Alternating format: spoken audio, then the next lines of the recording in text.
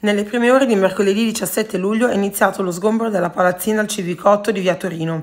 Sul posto erano presenti la Polizia Locale, Polizia di Stato, Guardia di Finanza, Protezione Civile, Croce Rossa, oltre ai mediatori ed interpreti. A supervisionare le operazioni c'erano anche il sindaco Andrea Cassani, l'assessore alla sicurezza Germano Dalligna, il comandante Aurelio Giannini ed il commissario capo Luigi Marsico.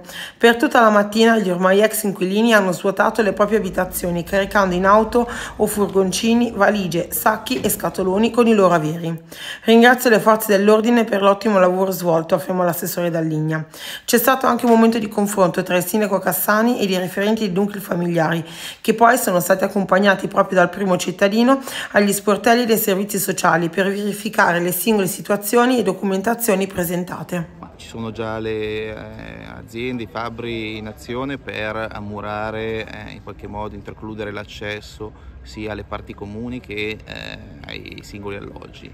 Eh, dopodiché eh, i curatori eh, sicuramente procederanno alla rimessa in pristino del sistema fognario e dei lavori necessari a garantire la sicurezza in modo che diciamo, un, speriamo tra, tra poco tempo, tra qualche mese, possa tornare a rivivere questo palazzo.